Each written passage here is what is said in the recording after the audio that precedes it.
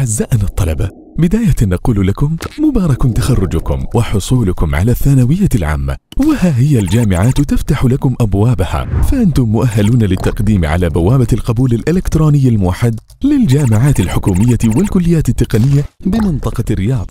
وفق شروط القبول وضمن التخصصات المتاحة التي ندعوكم للاطلاع عليها من خلال زيارة بوابة القبول الإلكتروني الموحد للطلاب وبوابة القبول الإلكتروني الموحد للطالبات. ويسعدنا أن نصحبكم في جولة تعريفية تبين لكم كيفية التعامل مع بوابتي القبول الإلكتروني الموحد وآلية التقديم عليهما. يمكنك الدخول على البوابة من خلال الرابط التالي. اختر أيقونة تقديم جديد واضغط عليها. قم بتعبئة البيانات في صفحة التسجيل وبعد الانتهاء اضغط على أيقونة تابع التسجيل. اضغط على أيقونة موافق بعد قراءة الشروط والأحكام. ستظهر بعد ذلك صفحة بيانات الطالب التي يلزم تعبئتها.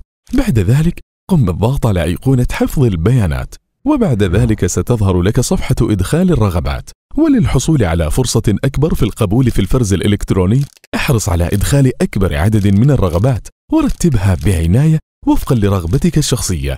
وبعد ذلك اضغط على حفظ الرغبات.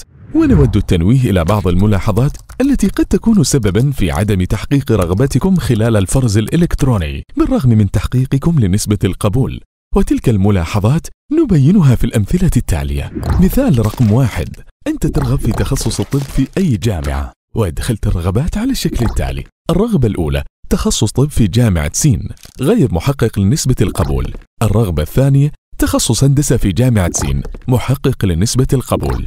الرغبة الثالثة تخصص طب في جامعة صاد محقق لنسبة القبول. إدخالك الرغبات بهذه الطريقة يعني أنه سيتم ترشيحك في الرغبة الثانية بالرغم من تحقيقك للرغبة الثالثة وهي الطب. لذلك عليك أن تضع رغباتك في الطب متتالية ثم تنتقل إلى الهندسة وهذا هو الترتيب المنطقي للرغبات. المثال الثاني إذا كانت رغبتك الدراسة في جامعة سين وفي أي تخصص وأدخلت رغباتك بالشكل التالي. الرغبة الأولى تخصص طب في جامعة سين غير محقق لنسبة القبول. الرغبة الثانية تخصص طب في جامعة صاد محقق لنسبة القبول.